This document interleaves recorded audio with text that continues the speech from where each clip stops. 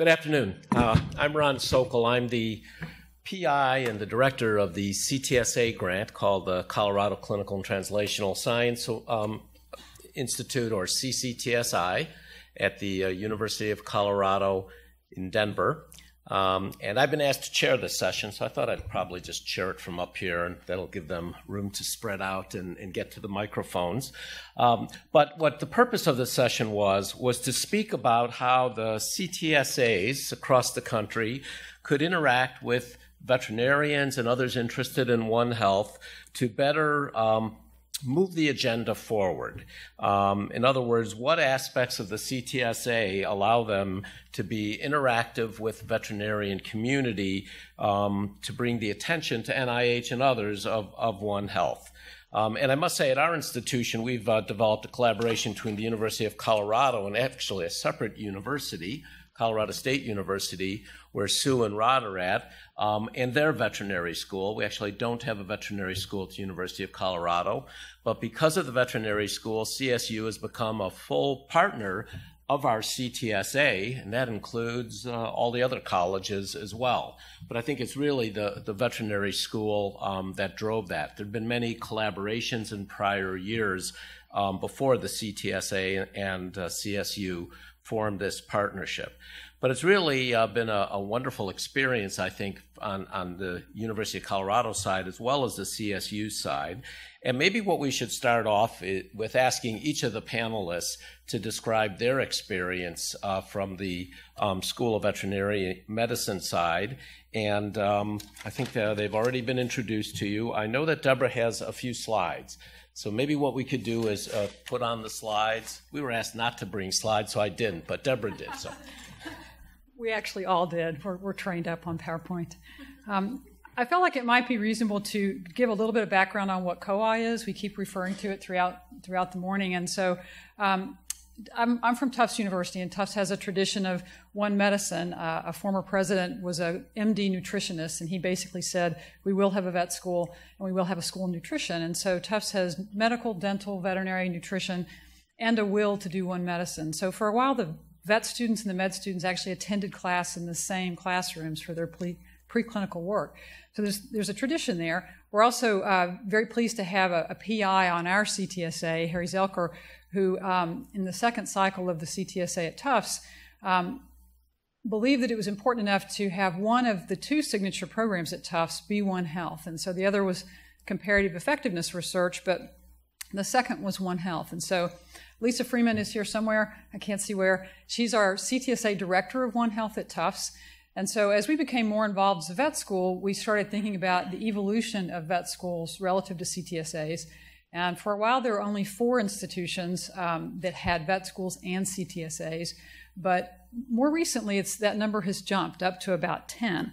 And so, um, so in thinking about that, we, we, we thought about, you know, what are the CTSA goals? And so, so these are uh, historically kind of the goals of the larger consortium of CTSAs in terms of translational science, uh, accelerating that translation into treatments, uh, considering the entire spectrum of translational research, and really importantly, training a new generation of clinical and translational researchers, as well as engaging communities. So I think most of you know there's over 60 CTSAs in the country, excuse me, and, um, and these are really broad coalitions in most cases, not just academic uh, communities, but also uh, funding agencies, NIH centers, um, and there's a broad range of diseases and, and uh, entities being addressed by these. So, so the conversation um, evolved to saying, well, you know, we have these nine or ten veterinary institutions um, that have CTSAs and therefore share some of these goals and priorities.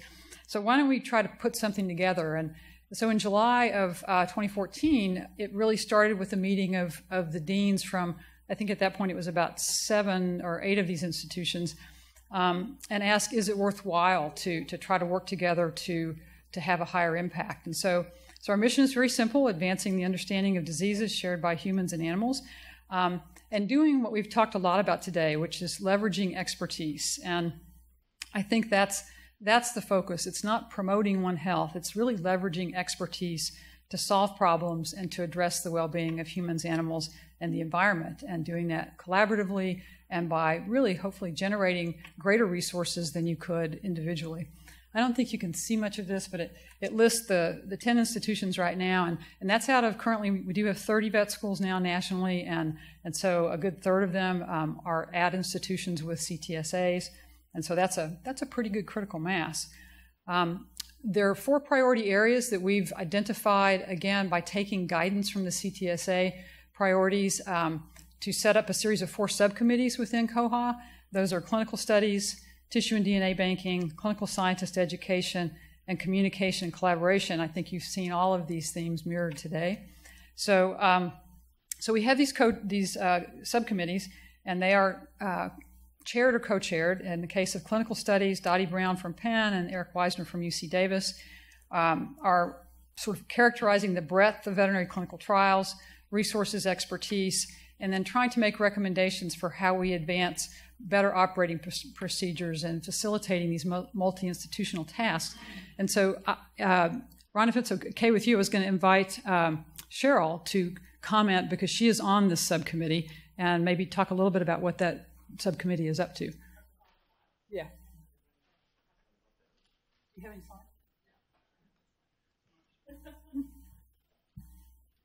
So, um, part of the goal of the clinical trials subcommittee is to really find out how various uh, veterinary schools that have CTSAs and are integrated with them are running clinical trials and um, sort of the the, the structure for how the clinical trials are run, uh, how uh, data is captured, how it's analyzed, and how that data is really integrated with the One Health mission. And so we've conducted some surveys to get feedback from other institutions and are working to develop a cohesive method to institute clinical trials across these institutions so that we can capture data in a coordinated manner that can then be readily translated back to um, basically the human arena. So that when we do engage in uh, research, particularly in spontaneous disease models, we can rapidly take data from multiple sites and uh, coordinate it and feed it back to a translational effort in a meaningful way. And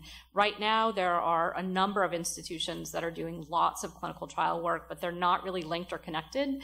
And so it makes it difficult to work among these institutions. So the goal is to sort of really even it out and make it a coordinated effort. Thank you. So the next um, subcommittee is tissue, tissue and DNA banking, and the subcommittee chairs are, are Sue and Ammon Peck from Florida. So Sue, would you like to um, see? You've got some slides, right?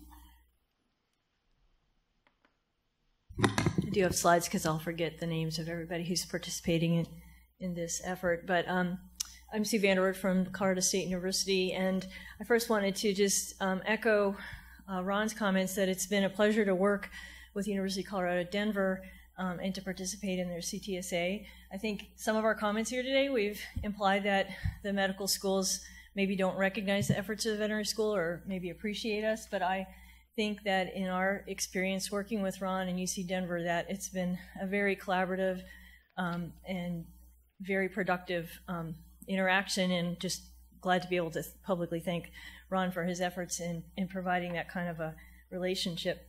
Um, so here's our two campuses, and I did take the liberty of putting the ram's head over the uh, University of Colorado uh, logo here to, for my presentation, so sorry, Ron, for that.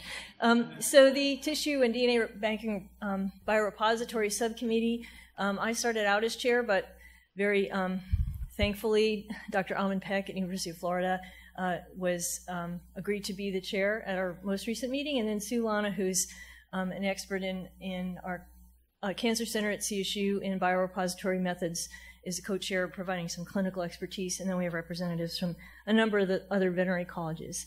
And um, as Cheryl mentioned, there are in, independent efforts in biorepository management at not only vet schools but at larger veterinary clinics.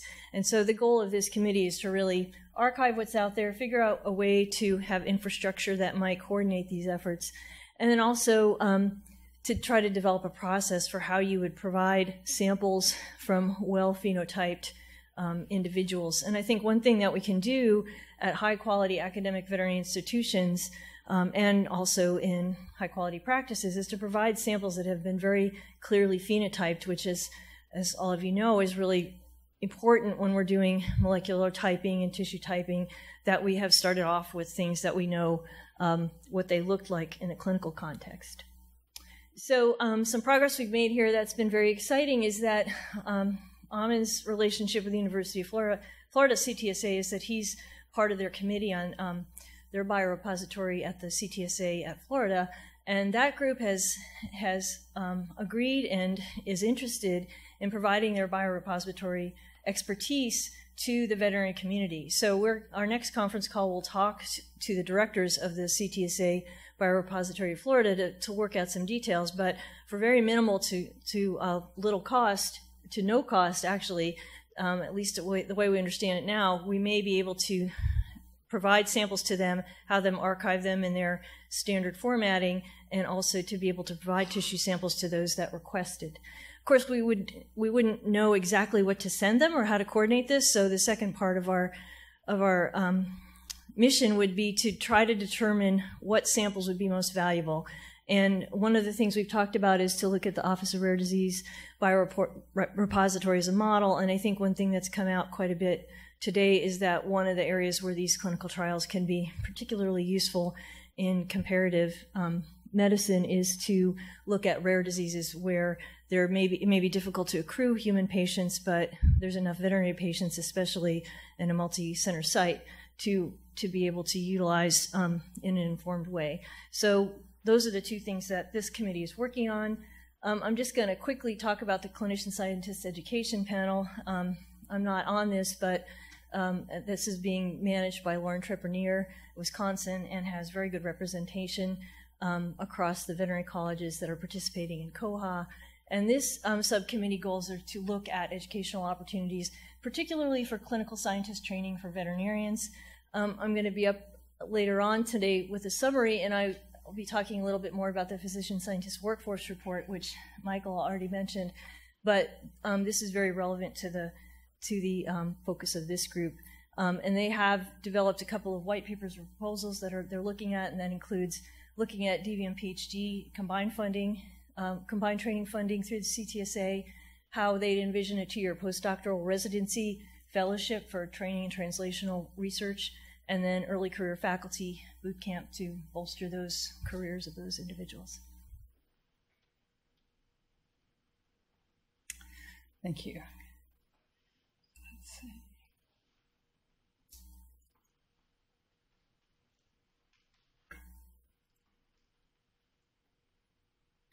So I would just also give Lauren Trepanier credit. Uh, back when there were only four institutions, uh, four veterinary institutions that had CTSAs, she really began to do cross um, CTSA work in that clinician scientist mode back in 2009. So, um, so it's been an idea that's evolved. So the last group, the fourth subcommittee, is communication and collaboration, which we've heard a lot about today. And again, Lisa Freeman, I can't see because of the lights, um, is the chair of this committee, and they're developing uh, priorities and an implementation plan to to increase the awareness of capabilities of veterinary schools and, and COHA and the network to support really good science. And so fostering collaborations, increasing and encouraging transdisciplinary grant seeking is, is, a, is a goal. Uh, some of the things that they have going already, we've started trying to place One Health tracks at major medical meetings. The American Society of Nutrition was just in Boston, and, and Lisa organized a one, a one nutrition track for that meeting. I think Michael Lairmore also recently had a, a a similar track at a vascular meeting. Um, so, so that's kind of a charge for all of the COHA members is to do that, to carry the message out a little bit. Uh, regional symposium we've talked about, uh, One Health columns in medical journals. Really, the purpose being not so much to be the cheerleader for One Health, but rather to make people aware of capabilities and to, as I think Andrew Lackner said, to to allow uh, optimization of teams to solve problems. And so that's, we consider that last subcommittee to be very key. Uh, quickly then, where are we? Um, ne- next steps, um, we have partnered with AAVMC, the Association of American Veterinary Medical Colleges, and signed an MOU across the institutions involved in COHA. We're all going to ante up a certain amount of money and then try to um, uh, run a competitive grants process to do some pilot funding to, to really bring people together across the, the alliance. Um, we are also very pleased that as of Friday, I think that um, PAR 15 173 and 172 were released And these are um, collaborative innovation awards uh, through the CTSA program. And because of the way those awards are set up, we feel like there's a, a lot of potential to use the alliance to to help put together some compelling proposals. And Ron will probably have more to say about that. Um, finally, we've been asked by a lot of our colleagues in the in the veterinary world. Um, can we join? Is, is COHA open to everyone? And that would be the ultimate goal: is whatever work we accomplish through this, that we be able to extend that so that the full uh, capacity, if you will, of, of, veterinary investigators can be brought to bear on, on problems that we both care about for the sake of human health as well as animal health. So, Ron, thank you very much for giving us that, that time. Well, first, let me just ask are there any comments on, on what you just heard? Because I wanted to uh, just give you a bit of a perspective from the uh, CTSA program, the direction that the national program is taking us. But um, there was a, a, lot of material there, so I, I, just want to know if anybody had any comments before I go on. Yes. I just had a question about the, the subcommittee on um, education of clinician scientists. Is that done in parallel with training physicians to be clinician scientists, or is it by design separated into veterinary and, and human medicine? The focus, I think, is really veterinary trainees. Um, you guys correct me if I'm wrong, um, with the thinking being that there's perhaps more resources available typically to house officers and fellows in a medical setting setting to be to train as clinician scientists than there may be for veterinary house officers. So it's it's really the interns and the residents, mostly the residents, that have been the target of that. Yeah, I, I just copied somebody else's notes, so I can't be 100% sure, but I, I do believe that there are, particularly in at uh, veterinary colleges, this would be a source of funding that would be maybe modeled after some of the programs that are ongoing at medical institutions but aren't necessarily directly interacting. You know, one thing that I would mention that's been interesting at Tufts, um, because of a different connection, not related to COHA at all, our house officers have started spending a week on medical rotations at Tufts Medical Center. And uh, though it's, it's not a structured curriculum, it's been a, a wonderful experience and has worked very well both from the people they're working with and themselves to learn about the commonalities.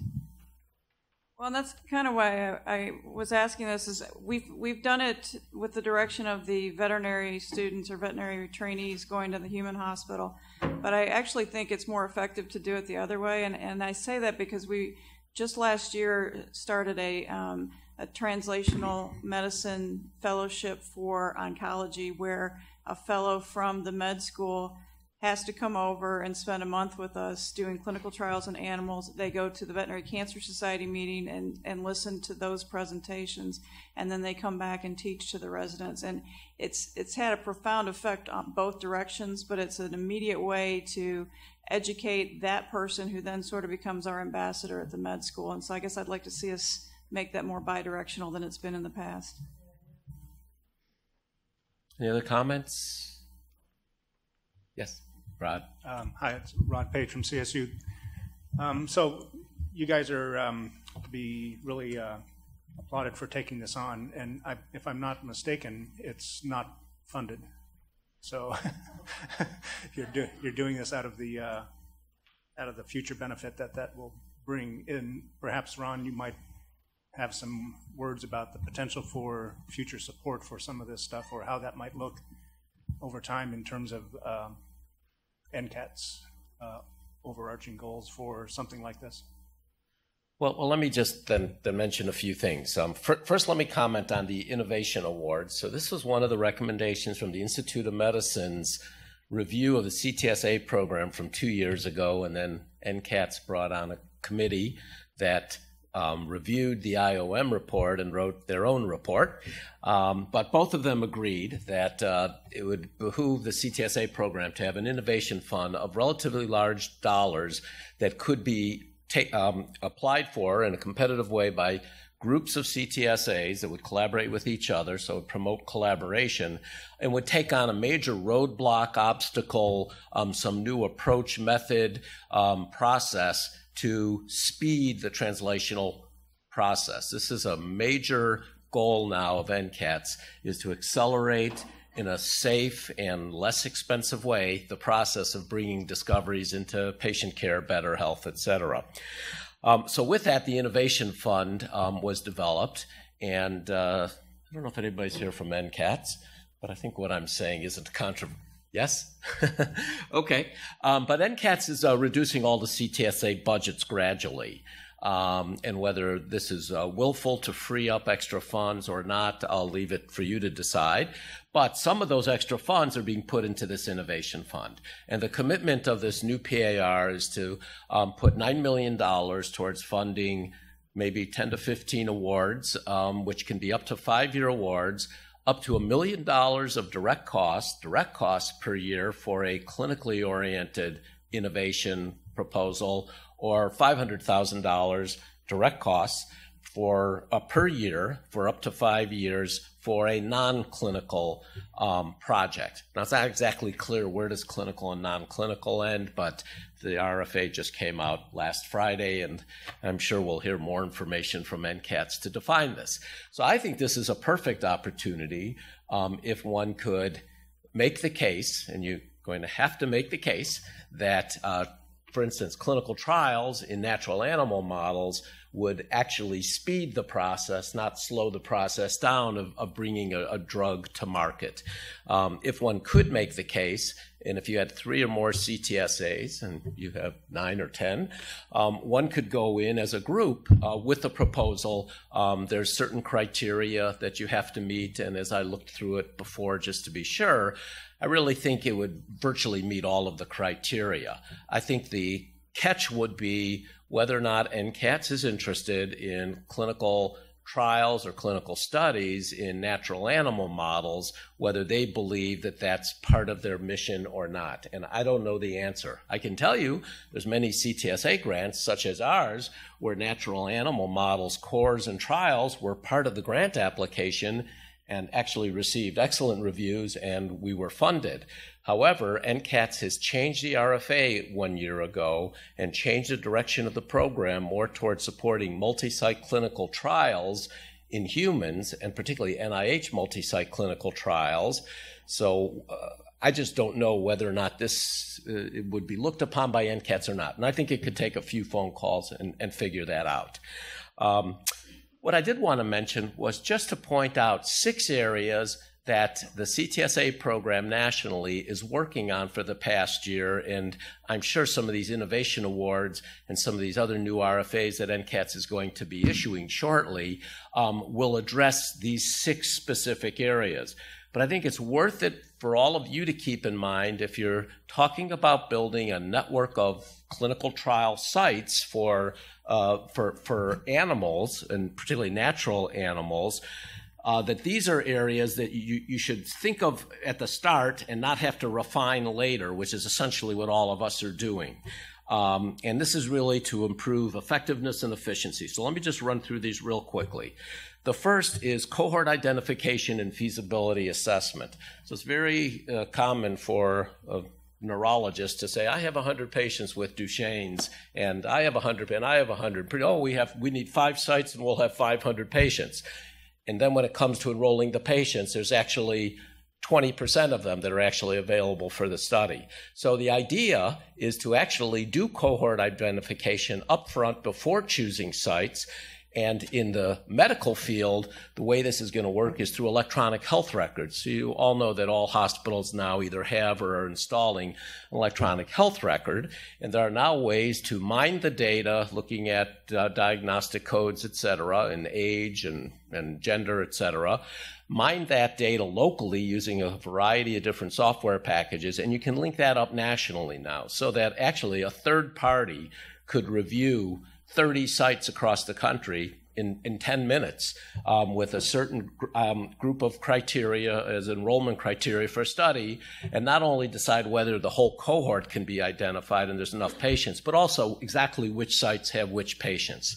Now, I, I know you don't all use uh, electronic health record, and certainly not a uniform one, but if you have local databases where you maintain the numbers, this might be something to consider building into a proposal or at least planning on this, because this really will help speed conducting any clinical trial, whether it's in humans or in, in natural animal models. So that's number one. Uh, number two are efforts to improve recruitment. And I think our challenges with recruitment may be a little different than yours, recruitment and enrollment in clinical trials. But messaging is so important, and messaging really changes across the country um, depending on uh, ethnicity and minority groups and others um, to really um, talk to somebody about what it means to be in a clinical trial and what the consent form means in a language they can understand. So there's a, a national effort on that. The third um, has to do with uh, improving the rapidity of IRB approval. And I, I, don't know if most of you know, but for many multi site studies, um, if there's 15 sites, that's 15 different IRBs we have to work with. And that can delay a study for a full year in getting all the IRBs to agree. Um, if, you, if you're in medicine and you run an industry sponsored study, generally industry uses out external IRBs, such as a one called Western IRB.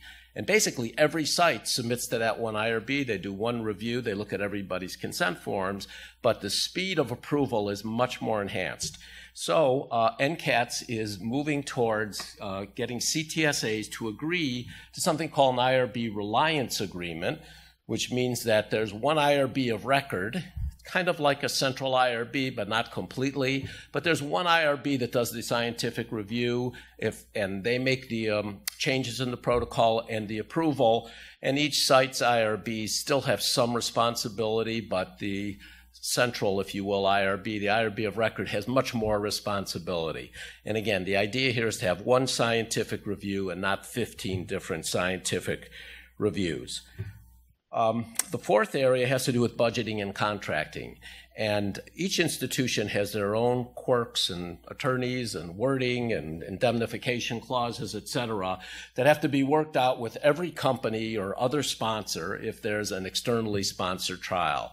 And uh, nationally, now 60, I think, of the CTSAs have agreed, and working with a number of the major big pharma companies, have agreed on a templated language that um, will only change with the specifics about the trial, but all the typical legal jargon that has to go up and back and up and back, they just agreed on. And again, probably eliminated months and months of negotiations that, that are pretty much unnecessary if you could agree up front.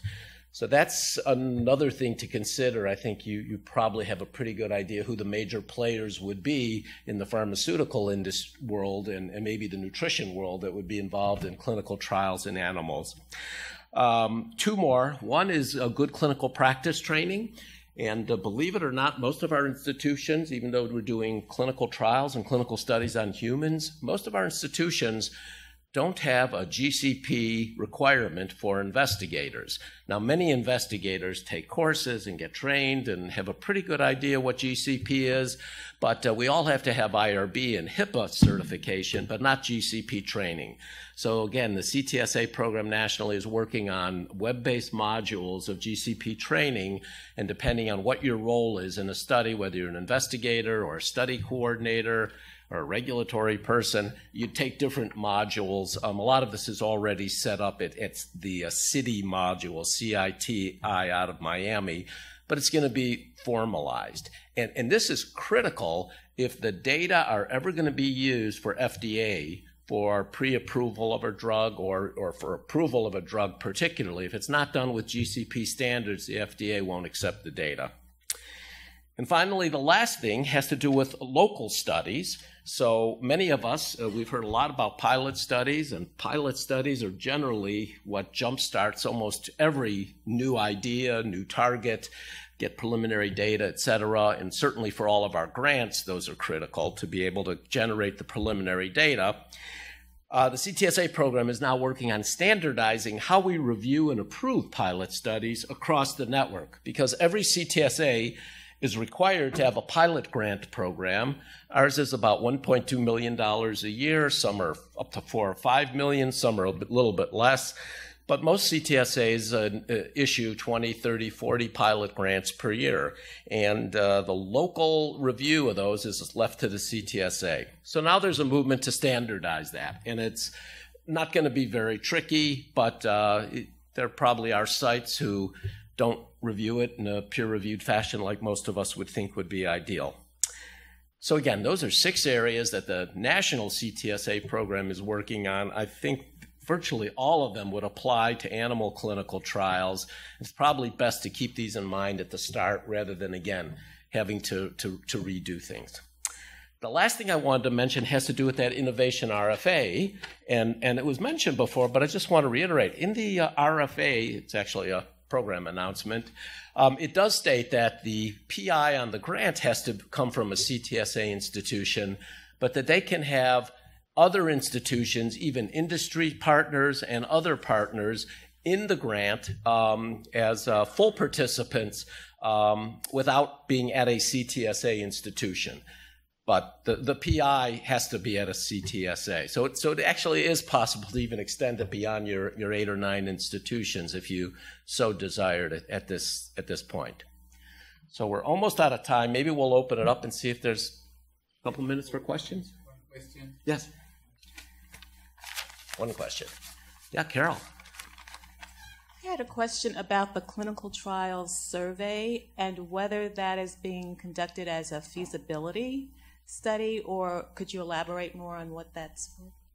So the survey was conducted really just to get a sense of what people were doing across sites um, in terms of what the structure of their units were, um, what sort of software they were using, if any, you know, software was being used, and to get a sense of what the landscape is like. Because I think there's a huge variation in what a clinical trial look, unit looks like across institutions. So at Ohio State, um, I run our clinical trials office, which started out as just two people, and now we have 10 full time staff members. Um, so we have nurses on the floor, we have an administrative assistant, um, and we are receiving support from our CTSA, and we're a shared resource of our cancer center as well. Um, and so, and you know, we're integrating with REDCap right now, and so all of our clinical trials will be done with REDCap. We have a network of 1,500 clinics that we contact uh, to advertise clinical trials. We use constant contact to maintain that that network, and so that may be very different than other institutions where um, the unit is less well developed and not used by everybody. And so at our institution at Ohio State, the investigators are required to work with our, C- our clinical trials office. So everybody has to flow through. We know everything that's going on and we maintain sort of the landscape. But that doesn't happen everywhere. So really the goal of the survey was to sort of understand what the differences were and to try to develop a platform that would be equitable across um, the various institutions and something that could be implemented rather quickly. That's terrific. For those of you who may not know what REDCap is, it stands for Research Electronic Data Capture, and it's a software database system that Vanderbilt developed um, that's based on Excel spreadsheets, but is much, much more than that. It's web based, it's backed up on servers, and very importantly, for the human world, it's HIPAA compliant, whereas Access and Excel are not HIPAA compliant. So most CTSAs have it installed. It's open source and uh, it's used now literally by thousands of investigators around the world. And I just wanted to add about REDCap. One of the really nice things about it is you can um, develop a library of case report forms that then can be shared by the entire user group. So if we were to load our case report forms up into REDCap, then any of the other COHA institutions could automatically just download them. And it really speeds up the process of putting together, you know, studies essentially. Yeah. And because it's web-based, it can be multi-site. Yeah. It's just not FDA compliant completely if you're doing a registration trial, but that's a separate point. Uh, along the, Carol Robertson Plew with Lilly. along the same lines is uh, while there are IACUCs at every single institution, uh, it seems like different institutions approach the clinical trial approval process a little differently. Is that something that you're looking into with the survey? And are there clinical trial review committees specifically looking at the enrolling of naturally occurring disease? So yes, we're looking at that as well. And I think um, so. The experience at all institutions is slightly different. Um, there are some institutions where IACUC is absolutely required no matter what you're doing. Uh, there are some institutions where there is a hospital review board that is sort of a secondary review. Um, and then there are other institutions where there isn't as formalized a structure. the way we have it at Ohio State right now is that any uh, clinical trial that goes beyond a standard of care intervention requires IACUC approval. Otherwise, you get a waiver similar to an IRB waiver, and that's a formal waiver letter. But we also have a secondary hospital committee that acts as sort of an internal IRB that approves things. So there's two levels of approval that are required. Uh, but every institution is slightly different, and I actually just got a query from Cornell's College of Veterinary Medicine because they're sort of wrangling with the issue of what does a, a IACUC waiver mean, and how should that be worded, and what qualifies for a waiver. So being from Cornell and having actually. put that- Excuse, excuse me, sorry to interrupt, but we will have more time at the end Oh, of sure. the discussion. So sorry to cut you, but we have to be, keep it on time. Guess we're I- at a break, right? Yeah, we'll have a break, but I, I want to remind you, yes, we have, we have up to 45 minutes at the end of the, the session. So, and remember, you can email, you have, you can, we have more time for comments. Okay? Great.